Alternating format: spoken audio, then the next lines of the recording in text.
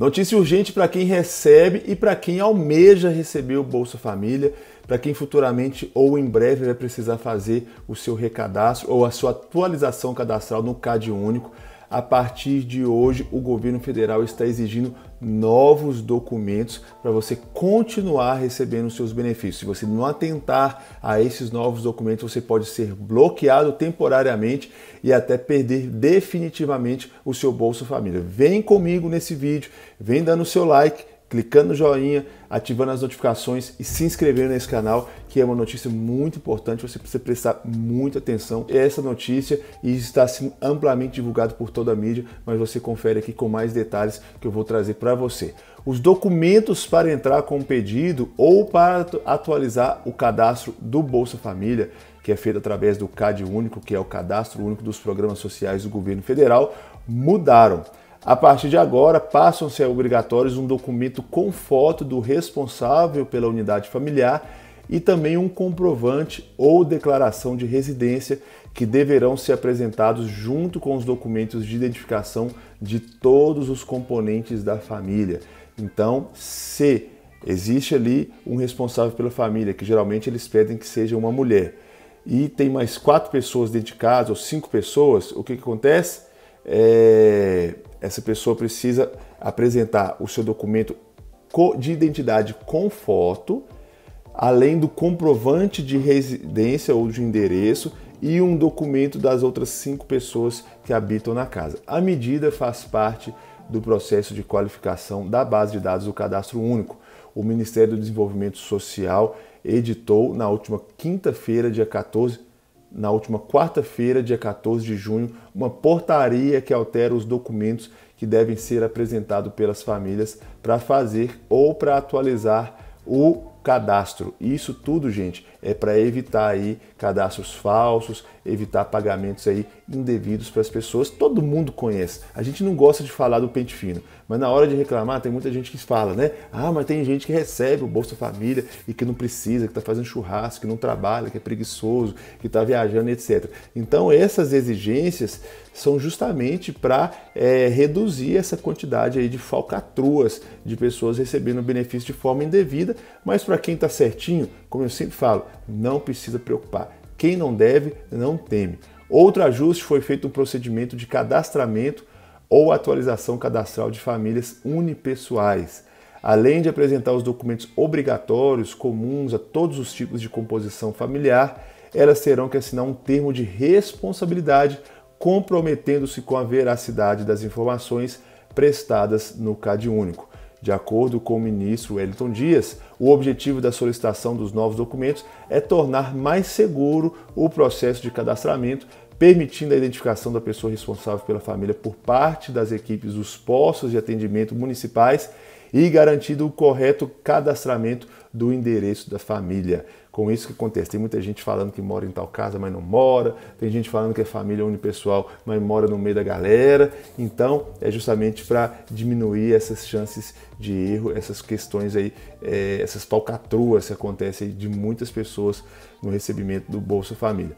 O documento de identificação com foto pode ser o mesmo que tem o número do CPF ou do título de eleitor ou um documento adicional, pois caso os primeiros não tenham foto. Então, para quem tem carteira de motorista, a carteira de motorista resolve. Tem foto, tem o CPF, tem ali também é, o número da identidade. Se você tem na sua carteira de identidade o número do seu CPF, isso já resolve. Agora, se caso a sua identidade não tem o número do CPF, você precisa levar a sua identidade com foto e também o CPF à parte, entendeu?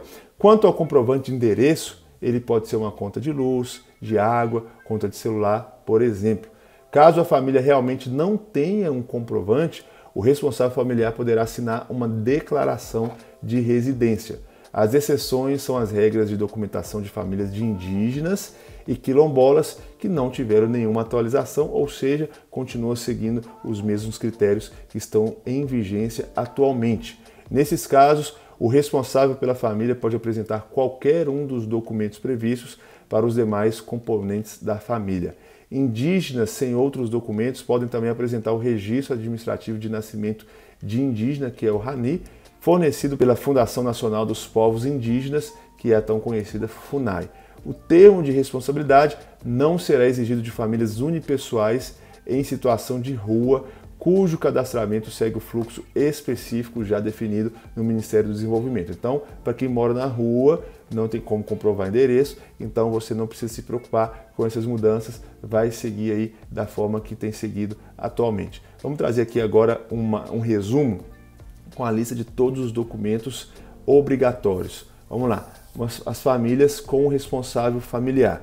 Esse responsável familiar precisa apresentar CPF de preferência ou título de eleitor, documento de identificação com foto e comprovante de endereço, ou na falta desse, uma declaração de residência assinada pela pessoa.